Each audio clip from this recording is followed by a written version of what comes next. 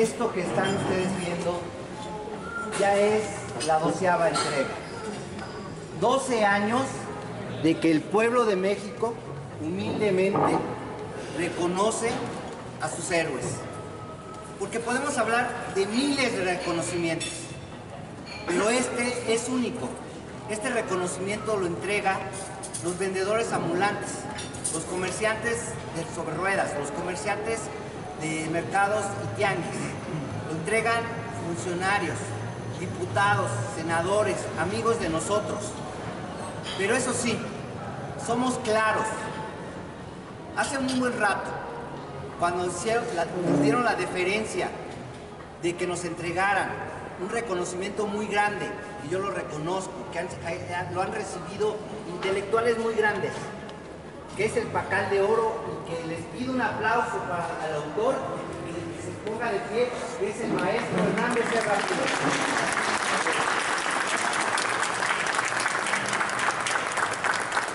Gracias, maestro. Hablar de Becerra Pino es hablar de la cultura mexicana. Becerra Pino es un gran escritor que con vida es el único en todo el país que ha recibido dos veces el Premio Nacional de Periodismo José Pajés. No es cualquier persona.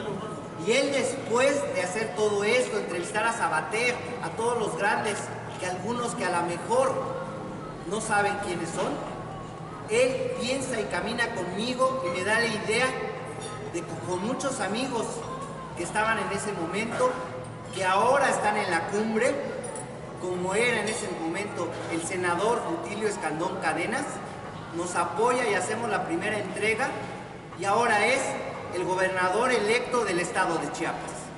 Pero seamos claros, no llegaron por ellos, llegaron porque el pueblo ya estaba cansado, harto de lo que estaba pasando con un PRI que acababa de despedazar a todo el país miles de años. Porque de esos 80 que dicen, no fueron esos. Fueron muchísimos que arrastraron al país a la miseria total de la que estábamos viviendo. Y ahí había muchos los luchadores sociales, mucha gente que estaba peleando en la izquierda y que jamás les reconocieron nada. Entonces, el grupo se asocia y lucha en todo el país con todos los que tuvieron tribunas y que ahora están con el gran líder Andrés Manuel López Obrador. Pero seamos claros, en el momento que nosotros dijimos vamos con Morena y que aprovechando el foro del Gilberto Cantón, lo dijimos claro, vamos con Andrés Manuel López Obrador porque ya se acabó tanta corrupción. Fue un año antes, seamos claros. No fuimos oportunistas. Y dijimos algo muy hermoso que nos llegó. Antes las madres enseñaban a nuestros hijos o a nosotros mismos a volar como águilas. Y en ese momento las madres enseñaban a los hijos como gallinas a comer gusanos. Estoy de acuerdo. No les pareció, no era el lugar, era cultura con el maestro pero era un momento una tribuna muy grande para decir que nos habían robado el Estado de México porque la gobernadora real no es del, no es, no es del, no es del MAS. La gobernadora real del Estado de México se llama Delfina, que, que ahora ganó y apabulló a este miserable en las, en las urnas. Ella es senadora electa, pero Andrés Manuel con una visión de estadista, que es la que él tiene, la nombra representante estatal de Morena renuncia a la senaduría y es la que ahora le vamos a exigir con todos los habitantes del Estado de México, que es donde vivimos, que le responda al pueblo, porque el pueblo pone y el pueblo quita. Entonces, no debemos de alabar.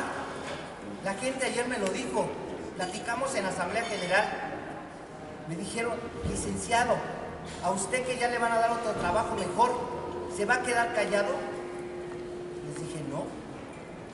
Porque si son mis amigos, tienen que escuchar a la gente que no tiene voz. Sinceramente tenemos que luchar por un México mejor. Decirle a Andrés Manuel, Andrés Manuel, perdón, que el pueblo está muy atento de lo que pasa.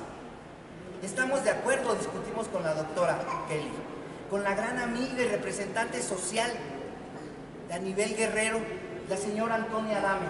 La señora Antonia Adame es una persona que camina la Sierra de Guerrero, que conoce las necesidades de todo el pueblo. Y en su momento, hace unos días, dio una opinión muy fuerte que fue respaldada por las redes sociales sobre el señor Bartlett. Yo no le discuto, doctora, que el señor tiene una capacidad tremenda, pero también hay que ser claros. Él fue representante del Estado represor. Apabulló a muchos compañeros de la izquierda, muchos compañeros que están muertos. Entonces, obvio, no les pareció a todos. Pero hay que darle a nuestro presidente pues todavía la duda de qué puede pasar. Yasmín que trabaja en la calle, Yasmín que se la jugó en el Estado de México porque la podían haber apabullado. Ella fue clara hace dos años. El pueblo necesita que exista algo diferente. Y con la pena, discúlpeme a las señoras castas, lo dijo muy claro, que chingue a su madre el PRI. La verdad, discúlpeme, resultó amiga se ganó todo el Estado de México con lo rancio, lo más podrido del PRI. Y no nada más ganamos todo el Estado, ganamos nuestro pueblo que se llama Tenango del Valle. Y que ahora nos da pena, mucha pena y que lo digan en los medios, que nuestro presidente municipal que le ayudamos a caminar diario, se le suba el ladrillo.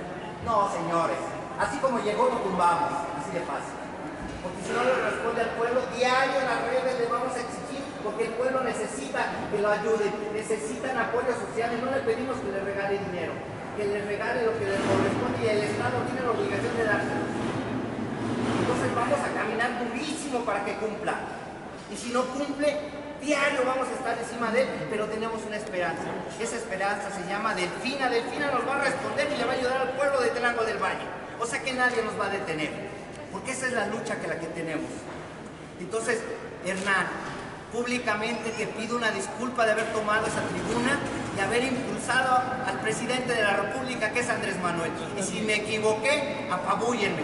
Fui el único que dije la verdad.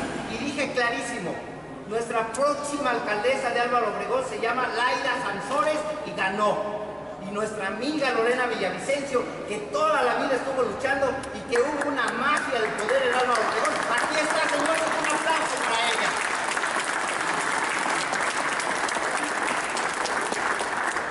Lorena, amiga, el pueblo, la delegación Álvaro Obregón, que también se lo vamos a decir al aire. Representamos a todos los trabajadores de Álvaro Obregón. Prácticamente ganamos. Desde hace mucho. Impulsamos a una señora que la sacamos del pueblo. Se llamaba Leticia Robles Polín. Leticia Robles Polín nos traicionó. Nunca hemos dicho mentiras. Pero ahora la esperanza se llama se llama este, Lorena Villavicencio. Lorena Villavicencio es nuestra amiga que le, haga, que le va a hacer llegar a Laida Sansores, que tiene que ayudar a los trabajadores de Álvaro Obregón, los trabajadores administrativos, los trabajadores de campo.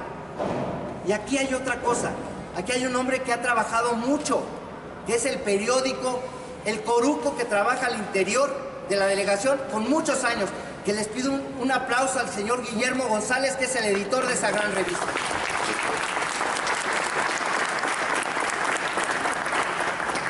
La otra, me pueden decir, como dijeron ayer los trabajadores en la Asamblea General, licenciado, lo único que pedimos es que nos den un trato de seres humanos. La mafia del poder, que era Leticia Robles con su cuñado, Lionel Luna, están en la basura, están en la basura de la historia. Ahora, Laida, que ya no es nueva, como le decían, Laida ya estuvo en política y vecinal con nosotros hace muchos años. Laida ya estuvo con nosotros en desarrollo social. No es ninguna principiante.